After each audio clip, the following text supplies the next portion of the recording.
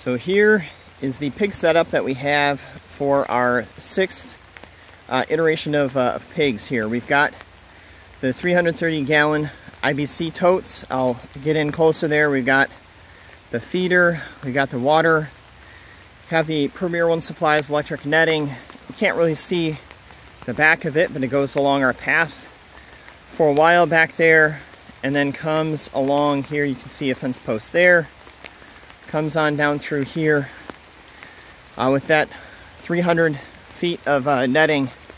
They've got a nice area and then obviously the flexibility for us to be able to move that and give them a new area. I put a lot of straw uh, into these totes.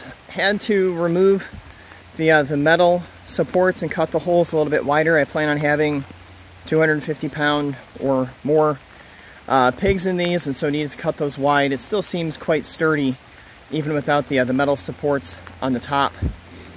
I had to do uh, more work than I expected on setting up the totes. Um, you kind of have to re remember all three dimensions, uh, up, down, left, and right, and uh, forward and backward. You know, the, the pigs love to lift with their noses. And so I spent a lot of time, probably overkill, but making sure that they can't move forward and backward, left and right, up and down. The up and down is, is the biggest thing to uh, remember. Um, for that, having a T-post in and then coming out so that they can't lift uh, up that way, I think was really key. Something which took a lot more work than I anticipated was having to find the correct dimensions of wood, obviously these are scrap pieces of wood, in order to bracket the T-posts so that uh, the T-posts would be rigid in the back.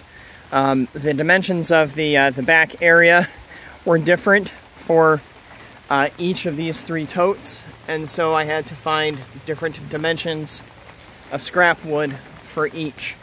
Needless to say, that took a lot of time, uh, but uh, they're uh, locked in, they're firm, and I'm excited to, uh, to have our piggies arrive today.